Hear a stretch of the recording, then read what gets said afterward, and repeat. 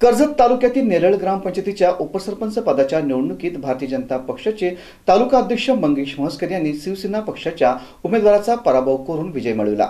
उपसरपंच पदासाठी निवडणूक घेण्यात आली आणि त्यात मंगेश म्हस्कर यांच्या बाजूने तर सेरेच्या जयश्री मानकामे यांच्या बाजूने सहा मतदान झाले.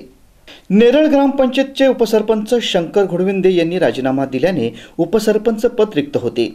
त्यामुळे आज रोजी ग्रामपंचायतच्या रिक्त झालेल्या उपसरपंच पदासाठी निवडणूक घेण्यात आली.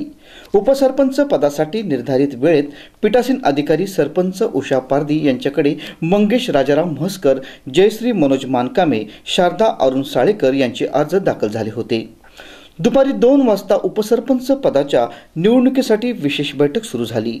त्यावेळी नामांकन अर्ज मागे घेण्याच्या मुदतीत शारदा साळेकर यांनी आपला नामांकन अर्ज मागे घेतल्याने उपसरपंच पदासाठी मंगेश राजाराम म्हसकर आणि जयश्री मनोज मानकामे यांच्यात निवडणूक घेण्यात आली.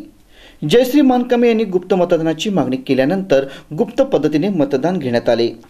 त्या मतदान प्रक्रियेत मंगेश म्हस्कर यांना अकरा तर जयश्री मानकामे यांना सहा मते मिळाल्याने मंगेश म्हस्कर यांची नेरळ ग्रामपंचायतीच्या उपसरपंच पदावर निवड झाल्याचे पीठासीन अधिकारी सरपंच उषा पारदी यांनी जाहीर केले. मतदान प्रक्रियेत सतरा सदस्यांनी भाग घेतला. त्यात मंगेश म्हस्कर नितीन नितीन निरगुडा श्रद्धा कराळे धर्मानंद गायकवाड शारदा साळेकर शंकर घोडविंदे रेणुका चंचे जयश्री मानकामे गीतांजली देशमुख राजन लोबी संतोष शिंगाडे उमा खडे शिवाली पोद्दार प्रथमेश मोरे आणि सरपंच उषा पारदी असे सर्व सतरा सदस्य उपस्थित होते. मतदान प्रक्रिया पूर्ण करण्यासाठी पीठासीन अधिकारी पारदी यांना ग्रामविकास अधिकारी गणेश गायकर यांनी मदत केली.